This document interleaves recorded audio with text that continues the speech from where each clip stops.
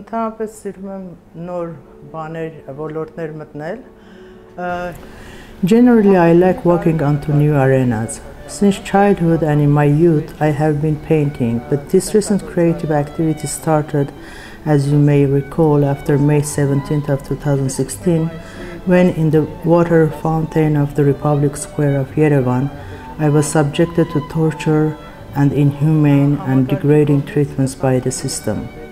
My dignity was violated and I was tortured both openly in the public and later on a disguised manner in the psychiatric hospital of Nubarashen. Naturally, I didn't submit myself, nor did I get broken. They couldn't break me and my spirit.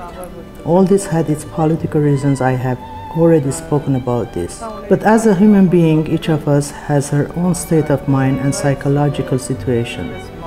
Bodily pains, as I would call them, heal easier. But this psychological oppression, especially when they attempt to attack one's dignity, was the case both on May 17th and has been the case during the many years I have been living in my homeland in Armenia.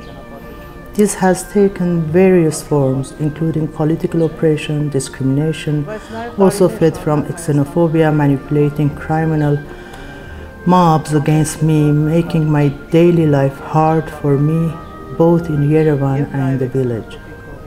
So painting has been a matter of healing myself individually and psychologically, which I started at around August September 2016 at my house in the village.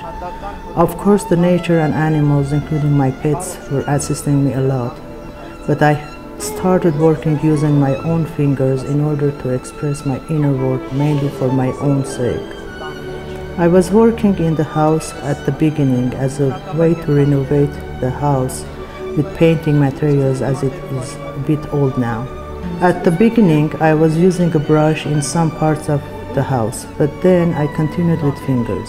Fingers allow to spill out all the tensions and pains accumulated in the course of years, and this was the journey I also started taking pleasure. And it was not just painting. I was doing I was also doing some other work such as using my right to speech to the fullest possible extent and other actions.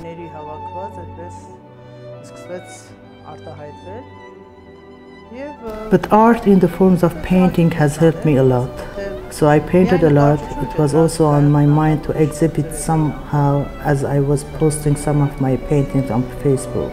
So when I came here to Pushkin Island for the first time a month ago, it was by chance. And by chance I also met with Haik and Tina, who mentioned that they do such exhibitions. I suggested doing one and they agreed. So here it is. The exhibition has opened on Friday, 30th of June. It is also a way for me to gain some income as they don't allow me to work because the intention of the system all these years has been to have me in a situation that forces me to leave my country, not for blatant political reasons, but make your life, daily life unbearable. And when you leave, the system will say, well, you see, we didn't do anything. She couldn't resist and left the country by her personal choice. We are not persecuting her. So for me, this exhibition is also a way of generating some income. And I've said that when it ends, I will take some of the remaining paintings to vernissage. Some people thought it was a joke, but I will gladly spend my weekends at vernissage. Of course, the police and security bodies will probably be concerned that the status of vernissage may change. But this is it. This is for me important both for political and financial reasons and as something I'm, I enjoy doing.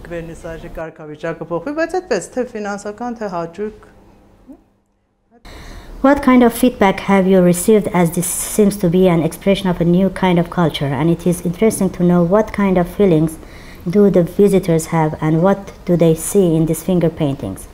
First, all those people whom I thought to be close to me, and during this past one year, a process of crystallization has been taking place in terms of really knowing people, both in my inner circle and among what I consider friends. So many people who would present themselves as close to me have not come to here.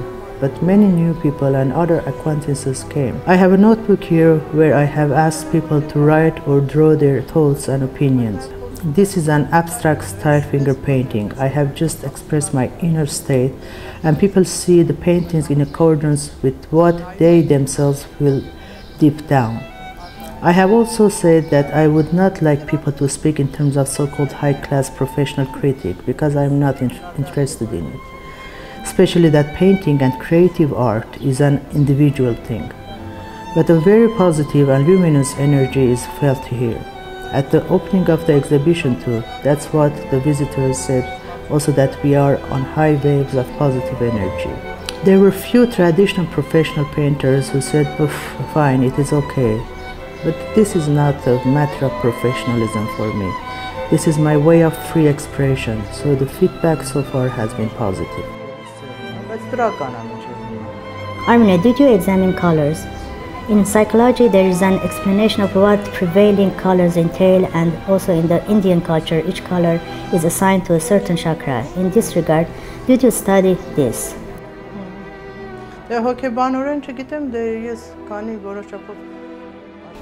I'm not aware what there is in psychology. However, in my own healing and rising, especially after May 17, I resorted to Reiki and Shiatsu, which I have been practicing for years. Yes, the thing with chakras is like that. It connects our energetic field to the universe, and colors are primary in this. But I do not pick colors because they are related to a certain chakra. I pick them with my feelings. While working with oil paint, there were moments when I was in pain and or depressed and I used more sad colors. But then after a while I returned back to that same painting and worked on it days and even weeks later and changed it. My finger painting colors when people say they are very reassuring and luminous. These colors impact them as well, yes, like chakras, both Indian and Japanese cultures and generally in the Eastern culture. They exist and many people have lost their direct connection with the universe. This is not just a matter of colors, this is a connection to nature and to universe. Like a tree with our feet down there and the canal opens up and we connect to the universe. Just like the animals who don't speak but have a harmonious connection with the universe. It is only the human being that has to find it and when they find it they become enchanted. I don't mean that you will not have pains, but you will be immune to anything human inflicted. I have been able to attain this and will continue attaining.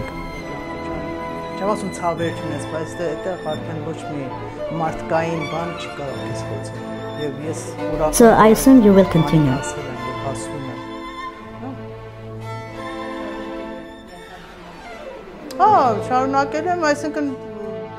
Yes, I will. I have already talked with Haik about this. It is very important for me to always keep in mind all those friends and those whom I personally don't know, but who are subjected to torture or inhumane and degrading treatments in my homeland and worldwide. In Armenia, this being the political prisoners Varujan, Jirair, Andreas, Gevorg, and the entire Sasna group, as well as Shant and others.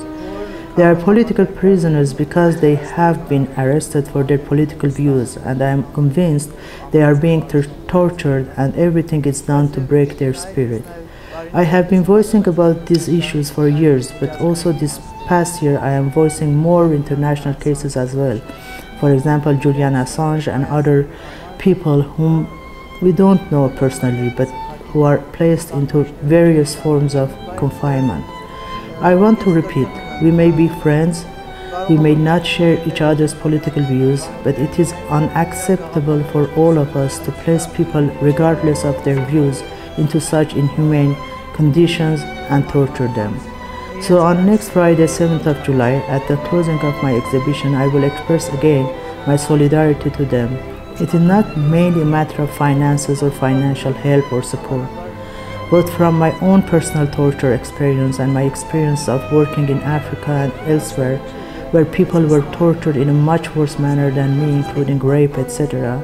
So, the most important thing for such people is to get a simple human attitude, to try and understand them truly and honestly, to treat them in a dignified and respectful manner. That is why I keep acting and doing my part of being in touch with Varujan and other political prisoners whom I don't know personally. So for those others who would like to become part of this can express their solidarity by their simple words and dignified and decent attitude to the political prisoners and their families who are in difficult state of mind themselves. I think that the finger paintings that I am dedicating to them with solidarity wishes will probably help them energetically as well besides my discourse and words and everything else I act upon and do to support them because I will do everything to have them free. Ես նկարներ ինձ է էներգետիկ է կօգնի հավանաբար բացի իմ խոսքերս ու իմ գործս որ ես անում եմ, որտեղ ես ամեն ինչ անելու եմ, որ իրանք ազատության մեջ գտնվեն։